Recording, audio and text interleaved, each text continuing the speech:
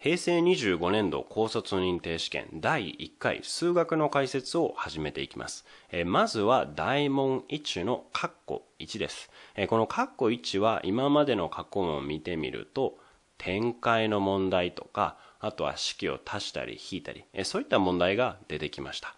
まあやねんけど今年からはえ2014年平成26年度の試験からはよく出てたこの3乗が出てくる問題なくなってきます。まあ、なので、この第1回の第1問の1、これ、出なくなるんです。ただし、これからも、今年からもこの展開についての問題は出ると思うので、ちょっと式を変えて、2x-y の2乗、この展開をここでは考えてみましょう。えー、それじゃあまず展開の問題ねんけど、展開ってそもそも何なんやろ？え展開っていうのは、まあ、この選択肢見たら分かる通りこういうふうにカッコがついた掛け算で表された式をカッコを外してバラバラの形にしてあげること、えこれを展開と言います、まあ、なのでこの2乗とかが今年になって出てきてもこれをバラバラの形にしてあげればいいですよと。えそしてバラバラにする方法大きく言うと2つあります。まあもともとは一緒やねんけどね。えまず1つはこれは分配法則を使っていこうという方法です。聞いたことあるかな？まあこれはちょっと時間はかかってしまうけど、どんな問題でも使える方法やね。そして二つ目、これはどんな方法か。できたらこれをやってほしいんやけど、情報公式を身につけて、しっかり覚えておいて解く方法です。ね、これのどっちかでも、どっちでもいいので、まあ、とにかくこの部分、問題ができたらいいですよと。えそしたら、まず、この分配法則使ってやってみようか。えそもそもこの 2x-y の2乗っていうのは、2x-y、2乗っていうのはこれが2つかけてありますよっていうことだよね。こういうことやね。まあ、なので、この式とこの式の掛け算を考えるわけです。そしてこの式とこの式の掛け算、括弧同士の式の掛け算の時には、分配法則っていうのを使って展開していくことになります。えー、どうするか、具体的にどうするかっていうと、それぞれ部品があるんやね。赤と青にしようか。それぞれの部品を、また後ろのそれぞれの部品に順番にかけてってあげると。これがこの分配法則を使った展開です。やってみようか。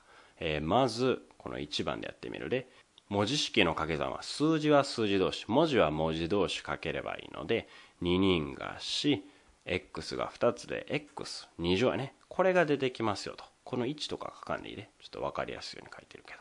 4x の2乗です。そして次2つ目。かける後ろのマイナス y してみます。そうすると、プラスとマイナスの掛け算なので、マイナスなって、マイナス 2xy。こうなるんやね。そしたら次3つ目、青に変わります。マイナス y かける 2x で、マイナスなるから 2xy やね。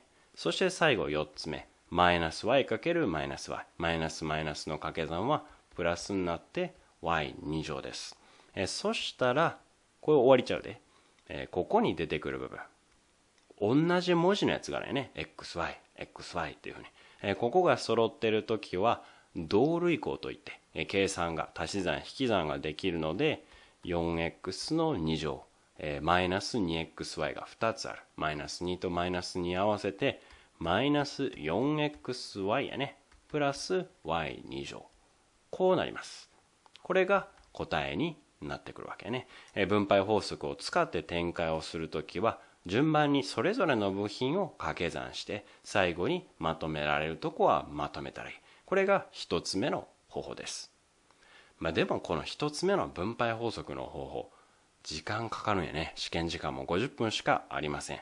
まあ、なので、できればこの情報公式というのを使ってやりましょう。えこの情報公式は何かっていうと、今みたいなよく出てくるこのカッコを外す展開のパターン。そんなよく出てくるんやったら、これ公式にしちゃおうよというのが、この情報公式なんです。大きく4つあります。まあ5つ紹介してもいいけど、ここは4つにしときましょう。まあ、それぞれのこの公式のパターンに当てはまってればいちいちこの展開をしなくても一発で最後の答えの部分が出せますよというのがこの情報公式なんです。えー、詳しくは中学校のところも振り返りながら見てほしいんやけどここでやった 2x-y の2乗これってどの式の形に似てる？こっちの左側見てな。どの式の形になってるやろ？この a とか b っていうのはいろんな数が当てはまんねんで。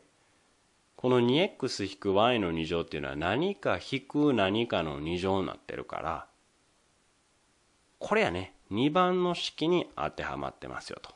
こういうふうに情報公式どれに当てはまるかっていうのを見つけられたらこの式は一発でこれになるっていうのがわかるんやね。